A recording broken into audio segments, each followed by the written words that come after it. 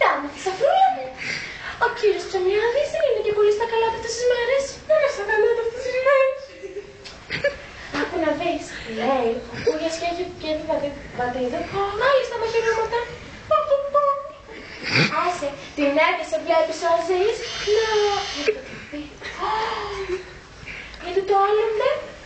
Η Τζούλια Αλεξανδράτου έχασε το στριλάκι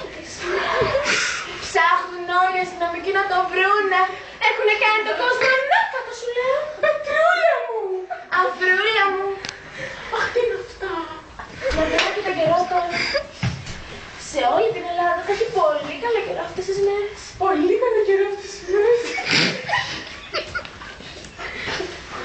Αντικούλα μου, κούλα μου, κούλα μου, κούλα μου.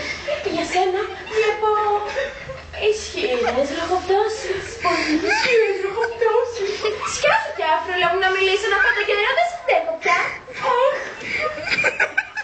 Ανέμους βορειοδυτικούς ως έθνους. Ως έθνους. Δέκα έως μία μεφτά. Έως μία μεφτά.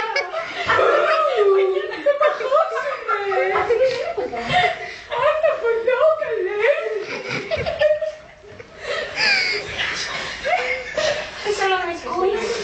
Κούλα μου, κούλα μου, κούλα μου. Για σένα βλέπω ισχυρές καταιγίδες. Ανέμους νοτιοδυτικούς. Η